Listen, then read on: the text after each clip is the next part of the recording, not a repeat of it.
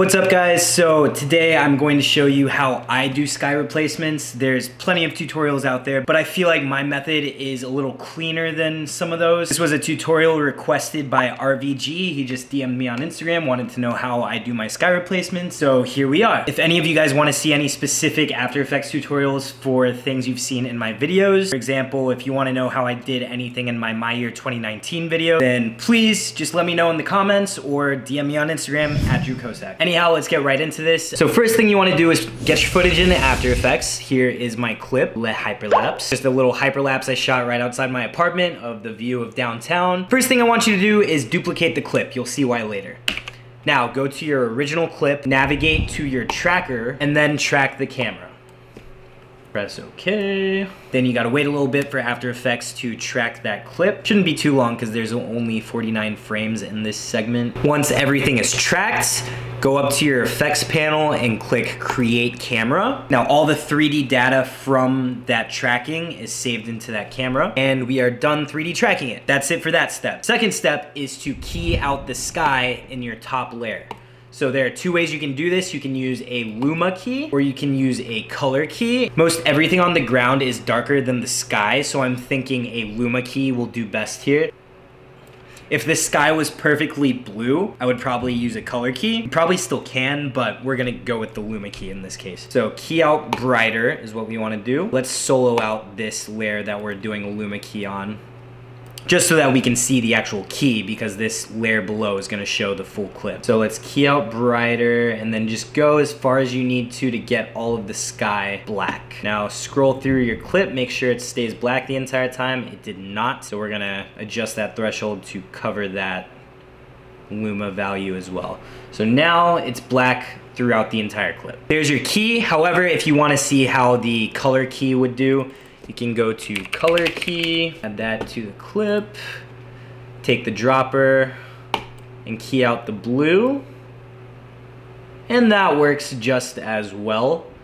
See, those are those are approximately similar. You can key it out either way. We're gonna stick with the Luma key though. So now, just to clean up the key a little more, we're going to use Key Cleaner, which is an effect that just smooths out Luma keys and color keys. Check reduce chatter to get rid of like little little bits of like black that kind of make the key look ugly. And then we'll play around with the edge radius to see what looks best.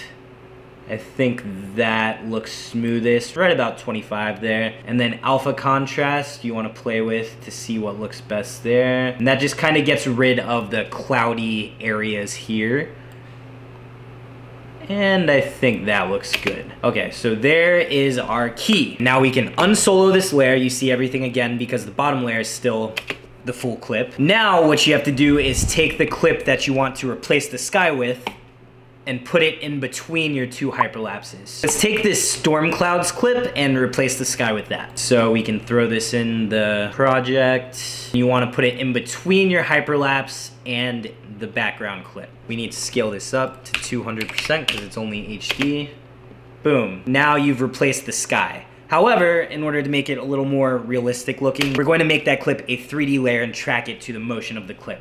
So you go to toggle switches and modes, and you click this little cube to make it 3D, and now it'll automatically move with the clip. However, you see there's an issue here. It is not large enough to cover that entire clip. The way you fix that is to just move it. Here at the beginning, it's fully in frame, so let's go to the end, maybe move it to the left. Nope, that was not good. Let's scale it up just to make it bigger. And then maybe we can move it to the left a bit. There we go. And now that sky is visible throughout the entire clip. So now what you want to do is get rid of all this down here. You can see that sky is showing on the street here. The way you fix that is by creating a mask on the sky clip. So this storm clip, we're going to create a mask, put it right about where the horizon is, maybe a little lower. Then zoom out pretty far because we, we're gonna do a lot of feathering here, so we want this to be a big mask. So create your mask. That way, none of the ground is showing sky. Lastly, you want to feather the hell out of that mask. So select the storm clip, press F, and then jack up that feather really high. This can be whatever you think looks good. I think that's pretty good right there. Maybe a little more. Uh, maybe a little less. I like that, that looks good.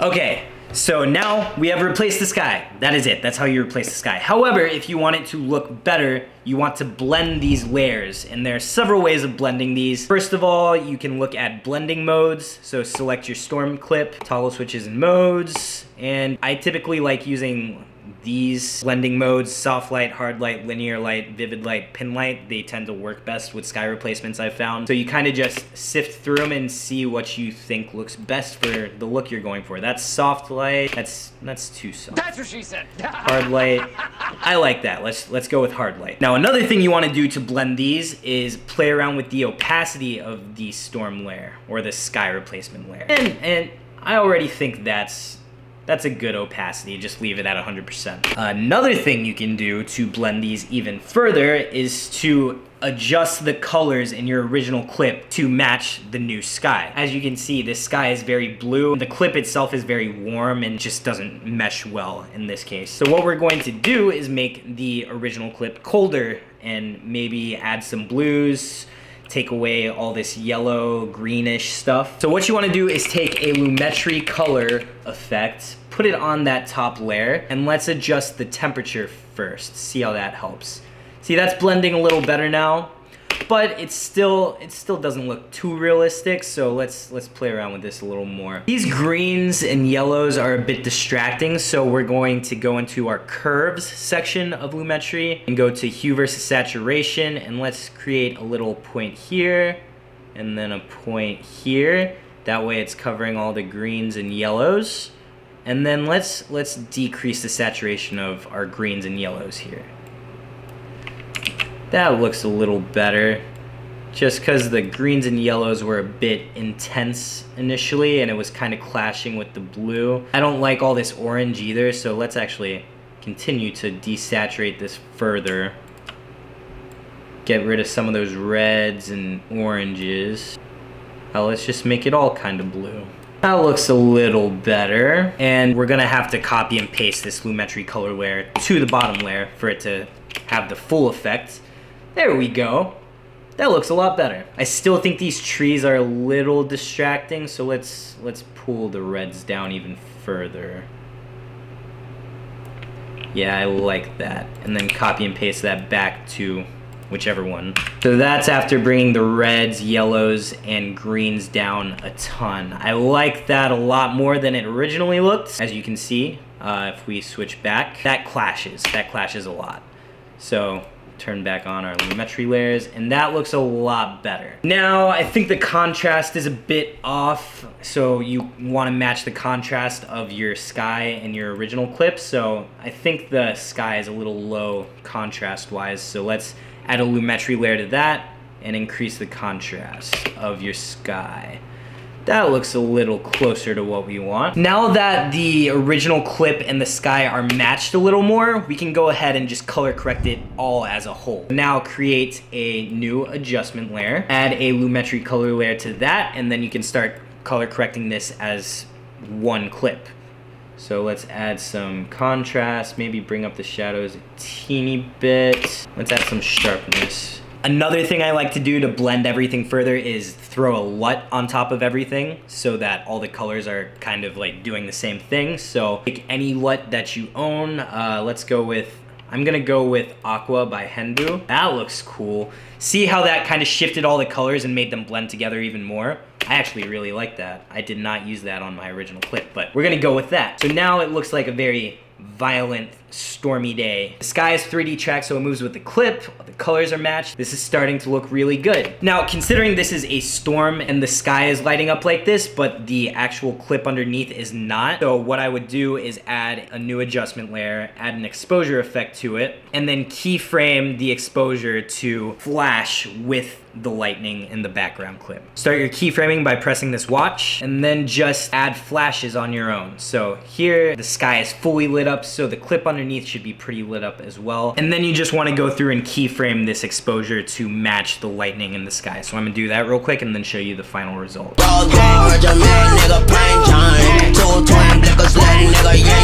Back and watch it. This, I think the light's a little too intense here. Maybe I can drop the opacity a bit. There we go. Now the entire clip is flashing along with the sky. I actually don't want this exposure effect to affect the sky, so let's move this exposure effect. Take all your keyframes by selecting that exposure effect and then adding it to the hyperlapse layers just copy and paste. That way the sky isn't getting even more bright than it already was. Yeah. I like that. There's your sky replacement and everything's a lot smoother and blended. Last thing I would do is add some sound effects to bring it to life and that is it. That is my sky replacement method and it's a little more advanced than the typical just key out the sky and then add something underneath it. Doing these extra steps really adds to the realism of it and just makes everything blend so much smoother. Anyhow, that is it for the video. Make sure to check out my My Year 2019 video. I'll link it it in the description. Add a card to the screen right here or let me know if there are any visual effects in there that you want me to make a tutorial for. Leave that in the comments below or hit me up on Instagram. Again, it's at Drew Kocak. And yeah, subscribe to the channel. And that's it for this video. Thanks for watching, guys, and I will see you guys in the next video. Peace. Y'all nigga back to the bluff. Trying to get back to the bus. If I do not make a few million and shit, it, I might just go back to the hustle. I got me some product and I ain't gonna hide it. I might just start trapping in public.